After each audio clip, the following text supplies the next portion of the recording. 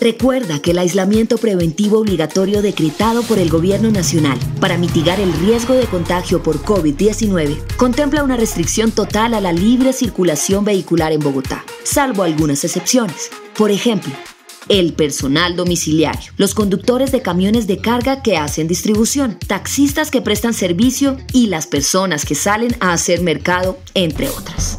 La disminución en el flujo vehicular no se puede convertir en sinónimo de velocidad. Respetar las normas de tránsito es la clave para llegar a cero víctimas por siniestros viales en la ciudad. Por eso, moverte bien está en tus manos.